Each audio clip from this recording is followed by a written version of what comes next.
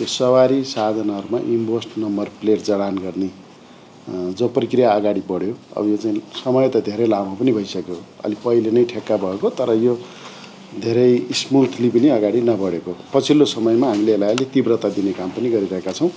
विभिन्न प्राविधिक समस्याहरू प्राविधिक उल्झनहरू ती समाधान गर्दै अब चाहिँ सहज रूपमा इम्बोस नम्बर प्लेट जडान गर्ने क्रम पनि अगाडि बढेकै छ। दस ठाउँमा काठमाडौँका पाँच ठाउँमा र काठमाडौँ बाहिर पाँच ठाउँ गरेर दस ठाउँमा गेट निर्माणको काम पनि अगाडि बढेको छ। छिटोभन्दा छिटो गेट निर्माण गर्नुपर्ने छँदैछ। गेट निर्माण गरिसकेपछि कमसेकम चाहिँ ती गाडीहरू त्यो गेटबाट प्रवेश गर्दाखेरि सबै विवरण लिन सकिने छँदैछ।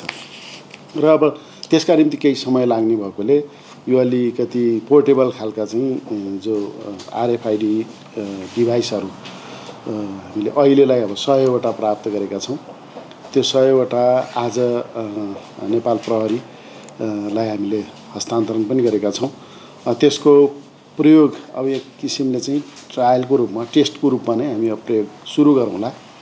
यसबाट सवारी साधनहरूको रिड गर्नको निम्ति अब त्यसको सूचना लिनका निम्ति यसले चाहिँ सजिलरी हामीलाई मद्दत गर्ला। त्यसो भयो भने त्यसमा चाहिँ हामीले डेटा पनि कलेक्सन गर्न सक्छौँ। कहीँ कतै कसैले बदमासी गर्यो भने त्यो रेकर्ड पनि हामीले लिन सक्छौँ। बदमासी गर्ने अपराध गर्नेलाई चाहिँ आइडेन्टिफाई गरेर कारवाही गर्न पनि सजिलो हुन्छ।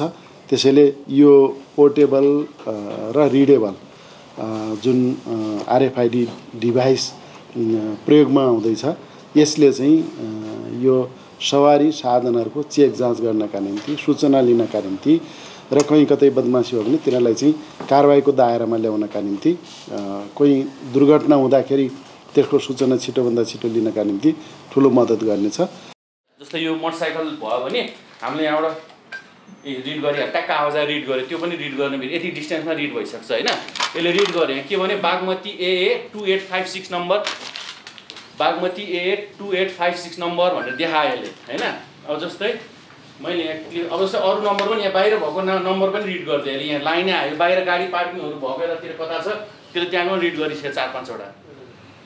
जस्तै अब यहाँ यसो क्लिक गर्ने टु एट फाइभ क्लिक गर्ने बित्तिकै उसले डिटेल यो भेहिकल डिटेल देखायो सो फोटो यसमा इन्जिन नम्बर देखायो कुन गाडी मोडल देखायो गाडीको मोडल यो मोटरसाइकल दुई पाङ्रेको रहेछ।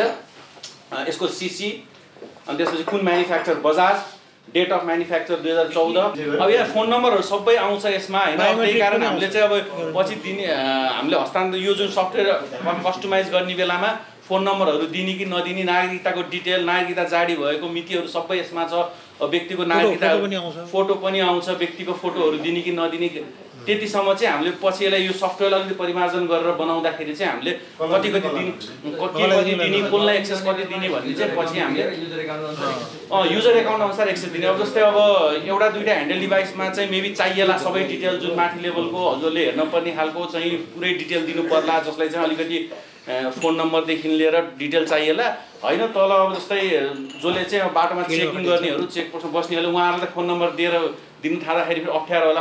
त्यो कारणले चाहिँ हामीले पछि यसलाई परिमार्जन गर्छौँ। यो चाहिँ किन यस्तो खालको हार्ड सफ्टवेयरमा बन्यो भन्दा चाहिँ वेदरको कारणले बाहिर मोटरसाइकल त बाहिर ओपन इन्भाइरोमेन्टमा हुन्छ त्यसले गर्दा प्रोटेक्टिभ राखेर चाहिँ यसले चाहिँ वेदर गार्ड जस्तो काम गर्ने भयो। यो चाहिँ हामीले हार्डमा राखेको अनि अर्को यो दुई चार पाङ्रेको हकमा चाहिँ भित्र सिसा भित्र टाल्ने भएको कारणले हामीले यस्तो यस्तो चिप बेस टिकट राख्छौँ। यो चाहिँ सिसामा टाँसिन्छ। यो चाहिँ चार पाङ्रे सवारीको ठुलाको सवारीको हकमा हुन्छ। अपराध अनुसन्धान गर्नु पऱ्यो अथवा कसैले कर तिरेको छ कि छैन गाडीले भनेर हेर्नु पऱ्यो अब अथवा कुन गाडी कुन गाडी चाहिँ अब यो क्षेत्र यो चाहिँ यो कसरी होइन को को को ओनर थियो कहाँ आइपुग्यो भनेर यसरी कतिपय कुराहरू खोजी गर्नुपर्ने हुन्छ राज्य सञ्चालनको क्रममा। त्यो विवरण खोजी गर्न चाहिँ असाध्यै उपयोगी। त्यो चाहिँ हिजोका चाहिँ एउटा एउटा प्र कुनै प्रहरीले विवरण खोजी गर्नु पऱ्यो भने कार्यालयको ढड्डासम्म पुग्नु पर्थ्यो भने उसले आफ्नै मो भनौँ यो डिभाइसबाट जहाँ छ जति बेला पनि हेर्न पाउँछ। त्यो नै यसको सबभन्दा महत्त्वपूर्ण पक्ष हो। सर्वसाधारणले यसलाई पनि अब जस्तो उसको मुभमेन्टलाई चाहिँ अब भनौँ न एक किसिमले चाहिँ हेर्न सकिने भयो।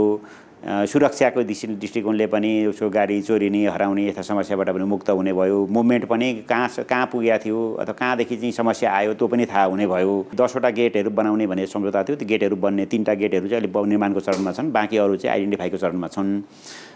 तर त्यो त्यो सबै ठाउँमा गेट बनाउनु त सम्भव हुँदैन। गेट त कस्ट खर्चिलो छ। त्यसैले यो ह्यान्डल डिभाइस भयो भने चाहिँ अब बोकेर जान पनि सकिने हिँड्न पनि सकिने मोबाइल जस्तै नै छ। अनि बाटोमा काहीँ भिडभाडमै गएर पनि त्यसलाई टेस्ट गर्न सकिने त्यो इन्फर्मेसन कलेक्ट गर्न सकिने हुन्छ। गेट चाहिँ अहिले हाम्रो बनिरहेको चाहिँ नागढुङ्गामा त मुल मुल्कु मुड्कु भन्ज्याङ भन्छ नुवाकोट जाने बाटोमा। र यता एकान्त कुनातिर एउटा बनिरहेको छ। यो जुन अब रिङ रोडभन्दा बाहिर निक्ल्ने बाटोमा। इम्बोस्ट नम्बर लगाएको गाडी चाहिँ त्यो गेटबाट क्रस हुने बित्तिकै त्यसले रेकर्ड चाहिँ हाम्रो से सेन्टर सर्भरमा पठाउँछ। यो चाहिँ त्यो गेट सबै ठाउँमा गेट बनाउन त सकिँदैन होइन? जहाँ गेट बनाउन सम्भव हुँदैन आवश्यक पनि हुँदैन त्यस्तो ठाउँमा चाहिँ यो डिभाइस भयो भने त्यसले त्यो गेटकै बराबरको काम चाहिँ यसले गर्ने भयो तर यो चाहिँ लिएर बस्नुपर्ने भयो। मान्छे नै स्ट्यान्ड बस्नुपर्ने भयो। त्यो ड्राइभिङ लाइसेन्सलाई चाहिँ टच गराइदियो भने ड्राइभिङ लाइसेन्स चाहिँ अब भनौँ न सक्कली नक्कली म्याच गुज्रेको नवीकरण गर्नुपर्ने के छ त्यो सबै भनिदिन्छ। आफू उभिएदेखि दस मिटरसम्मको पेरिफेरीमा चाहिँ जतिवटा गाडी भए पनि त्यो कभर गरिदिन्छ। उसले इन्फर्मेसन कलेक्ट गरिदिन्छ। कर तिरेको छ कि छैन होइन नवीकरण गरेको छ कि छैन अब कुन ड्राइभर हुनुपर्ने अर्को ड्राइभरले चलाइरहेको छ कि थुप्रै कुराहरू चाहिँ यसले दिन्छ अब। अब कति प्रयोग गर्ने गर्ने भन्ने चाहिँ अब प्रयोगकर्तामा भर पर्ने विषय हो।